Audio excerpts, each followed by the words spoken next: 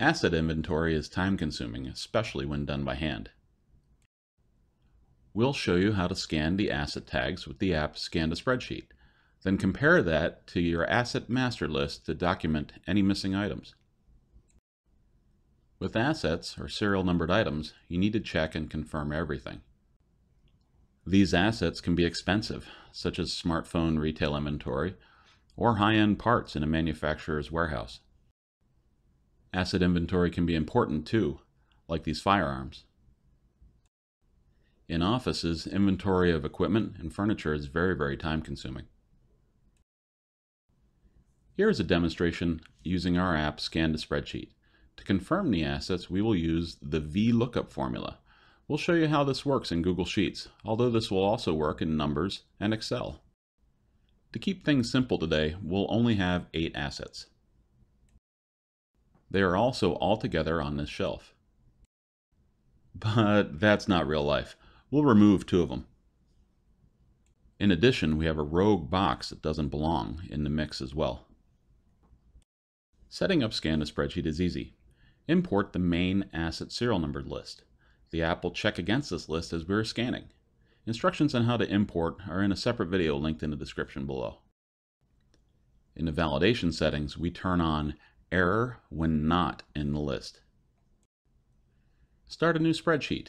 Give it the name Assets. Go ahead and scan all the asset tag barcodes.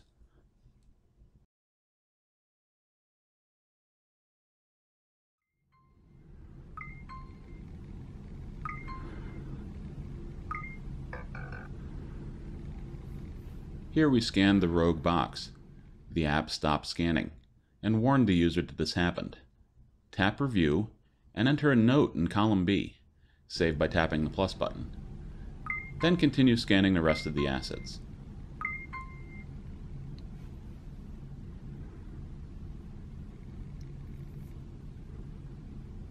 We're all finished scanning. Share the spreadsheet as an email attachment or directly to other apps such as Google Drive. Now to phase two, highlighting the missing assets and completing our inventory.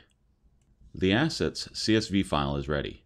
We want to copy the scanned serial numbers to the Inventory Sheet tab in our main asset spreadsheet.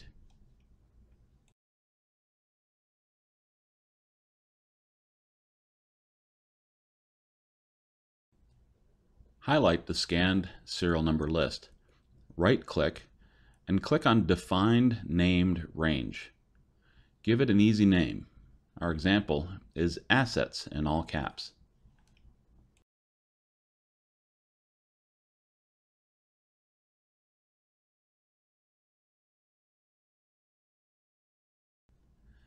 Back to our asset list and the on-hand column. We'll now enter the VLOOKUP function.